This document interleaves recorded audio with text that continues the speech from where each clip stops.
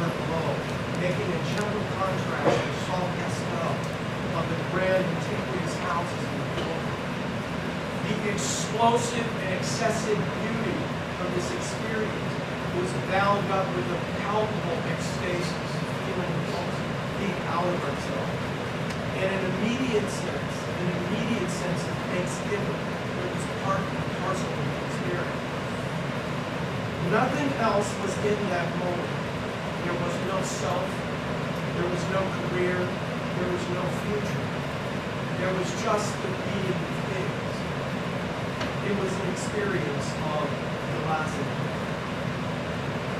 And I take this, I take Heidegger's general point to be that poetry is the only real cipher, uh, cipher for such experiences, such moments of serene, as it puts in German, Gelassenheit, taking that concept first used by the German mystic Meister Eckhart, in literally uh, release or sometimes abandonment, uh, abandonment from the concerns of everyday living. What stands against Gelassenheit is the whole culture of a means to an end conceptuality. And this conceptuality is the heart and soul of what Heidegger calls the technological a priori, the universal reach and presence of technologies, which are always attempting to master and dominate the environment. This is one reason why some environmental philosophers have been interested in Heidegger.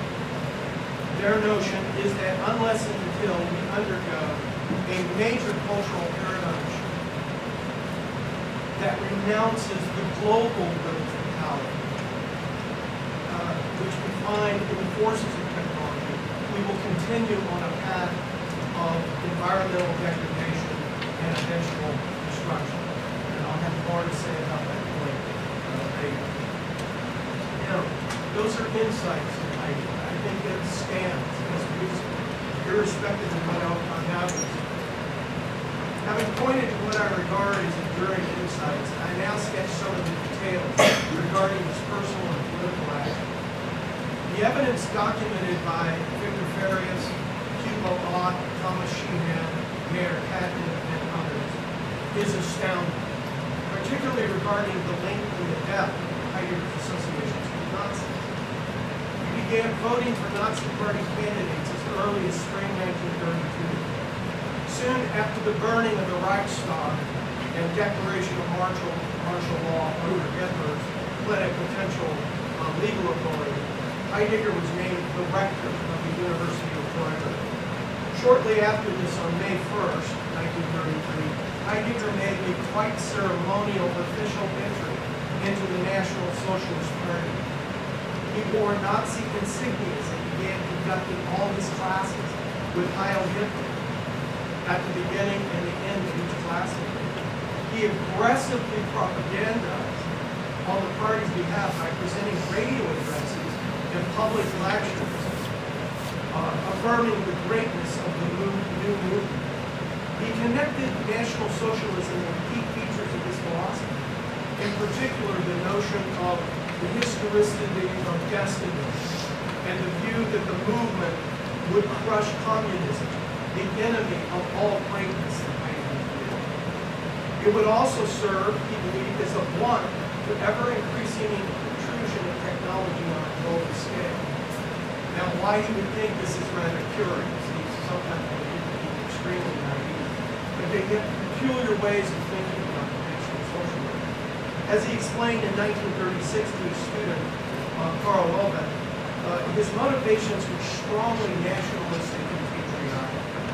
the movement, in his view, was the best way to preserve Germany and to return it to the empire under Wilhelm and the German values of hard family and a strong agrarian lifestyle combined with high culture and high learning. He becomes a very autocratic and ruthless leader in Freiburg, officially invoking the so-called Führer offensive. In effect, he disbanded any faculty or student voices other than his own, and he gave himself absolute authority over all. Under this authority, he enacted the so-called cleansing laws as provided in the 1933 Canadian therefore, he thereby dismissed Jewish faculty and refused to direct the dissertation of any Jewish students. Jewish students and many Catholic ones as well, they were under attack by official Nazi partisans, were absolutely refused financial support, which destroyed their. There is also clear evidence that he engaged in secretive communications with the Gestapo that led to extremely hurtful reprisals. For example, uh, such as the firing of his own colleague, Professor Hermann uh, who was not given a pension. Very common. And because of his, simply because of his views. And the firing of Edward Baumgarten, simply for his close association with Jewish intellectuals. And the refusal of a university appointment to Max Mueller because of his criticisms of Nazi policy. Among the Jewish-connected faculty who were released, these included Heidegger's own uh, previously close colleague and supporter, Edmund Husserl. Husserl was mortified and enraged by Heidegger's behavior. In a 1933 letter to Dietrich Mahnke, Husserl wrote the following. With others, I have had to suffer the worst experiences. The final case, and it was the hardest, being Heidegger. Hardest because I had come to place of trust, which I no longer understand.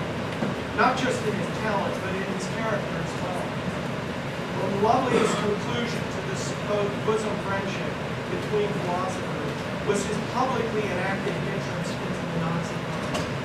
Very theatrical on May the 1st. Before that, there were his self-initiated break. Uh, there was his self-initiated break in relations with me. In fact, soon after his appointment, and over the last few years, his anti-Semitism, which he came to express with increasing vigor, even against the of his most enthusiastic students, as well as around the department. That was a hard day to go. While Heidegger resigned his post as rector in 1934, he criticize Nazi party bureaucrats. Nonetheless, he continued to support Adolf Hitler and the German war effort until it became very clear that the Allied forces were winning the war. After the Allied victory in 1945, the German universities were scrutinized by a committee for political purification the denunciation. Heidegger and his wife Elfride audaciously invited crowds to exonerate him and retain his position writer. I find this to be one of the most shocking aspects of the whole Heidegger Nazi exit. There is a clear refusal to take responsibility for his involvement.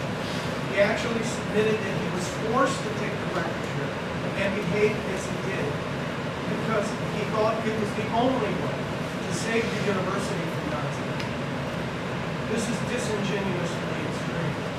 The committee found that Heidegger, while no longer a member of the party, was still a actor, and he might yet incite students to pro-Nazi uh.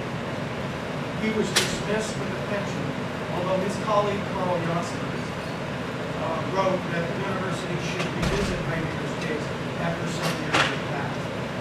Perhaps given uh, a, a good record, peaceful uh, speech and behavior, he could return. After this dismissal, Heidegger was hospitalized. He collapsed in a state of absolute spiritual uh, uh, exhaustion.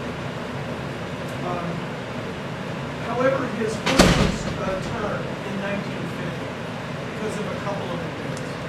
First of all, his sons were returned from the Russian concentration camps uh, in 1950.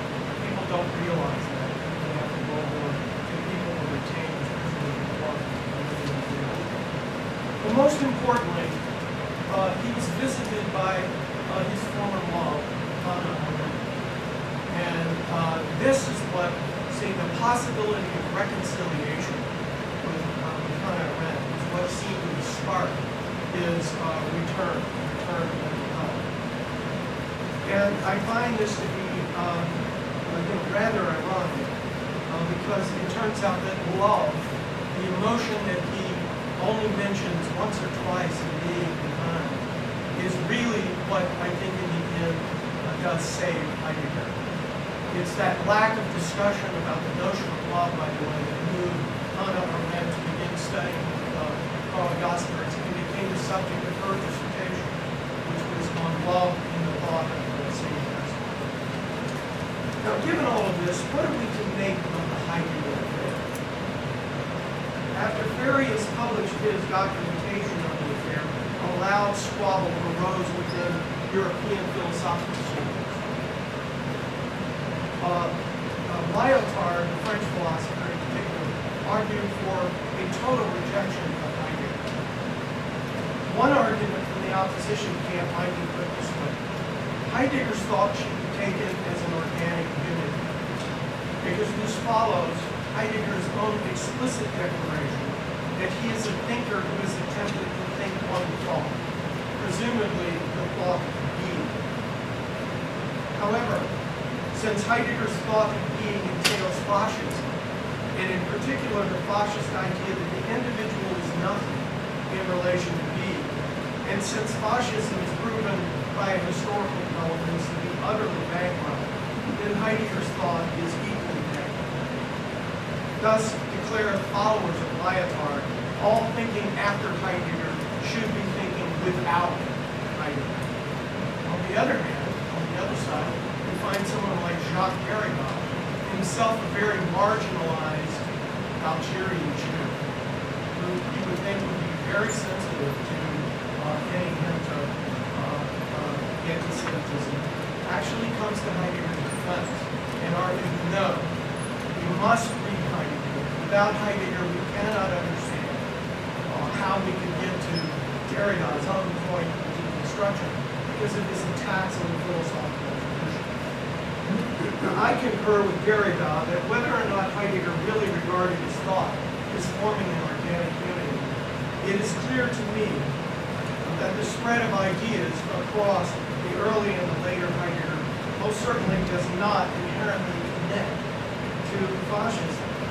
The evidence for this, in my opinion, has to be that many of his insights are, as a matter of fact, they're insights that have been found in the American pragmatic and process tradition. And all of those people draw, they draw political implications, they draw, uh, you know, models of liberal democracy. Charles Hartshorne, for example, was the founder of the Harvard Liberal Club, as an example of his own political views. And so um, I find this to be uh, an extremely problematic uh, way of viewing um, Heidegger, and I side with Derrida. On the other hand, I take very seriously the complaint of such process philosophers as Gavin Krause, who are not enthusiastic about Heidegger studies, for the reason that virtually any genuine philosophical insight achieved uh, in the work of Heidegger can be found better stated in the American pragmatist and process tradition. My reply to this is twofold. Despite my agreement, uh, I agree so much with Dan, we are really on the same page. Uh, but nonetheless, I, I don't agree with him about this for two reasons. One, I think Heidegger studies can still be very edifying because Heidegger does contemplate darker dimensions to the human condition. Um, and one simply doesn't find this in the process tradition. I think it's something that supplements, especially, for example, Heidegger's discussions about, uh, about uh, the reality of guilt, or Paul Tillich's related discussion, Luther's experience of contact. You can't find these sorts of things in the process thinking. And indeed, they've been accused of having much too rationalistic and intellectualistic understanding of moral error. Uh, there are a number of uh, contemporary Protestant theologians criticize process And I think there's something to this criticism. And if you really are a radical empiricist, as you know, bad or many process philosophers follow William James, then that means that you need to include the entire panoply of human experience to be very comprehensive as a philosopher. And thus I think Heidegger really supplements one's point of view. But secondly, I think that process thinkers ought to look at. They ought